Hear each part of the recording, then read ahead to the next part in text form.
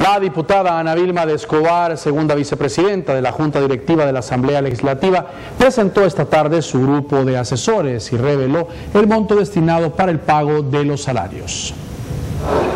La diputada Ana Vilma de Escobar, quien ostenta la segunda vicepresidencia de Junta Directiva del órgano legislativo en los primeros 18 meses, presentó hoy su equipo de trabajo técnico, quien estará a cargo de asesorarle personalmente en diferentes temas de nación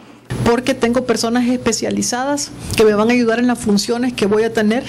eh, en las responsabilidades que tengo como miembro de junta directiva, como es la compras,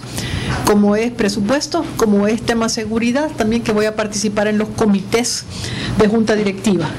La segunda vicepresidencia de la Asamblea Legislativa tiene un presupuesto destinado de 21 mil dólares, de los cuales la diputada Ana Vilma de Escobar gastará 7.500 en pago de salarios de sus asesores.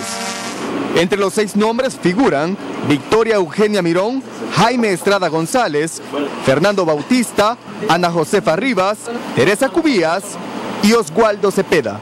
Estaremos apoyando a la diputada Ana Vilma de Escobar, vicepresidenta de la Asamblea Legislativa, en su equipo técnico, específicamente en los temas legislativos y políticos que desde eh, la Junta Directiva ella va a tener que impulsar. En estos momentos vamos a dar un recorrido a la oficina de la segunda vicepresidencia de la Asamblea Legislativa, donde la diputada Ana Vilma de Escobar ha decidido no invertir en la remodelación de la misma. Acompáñenos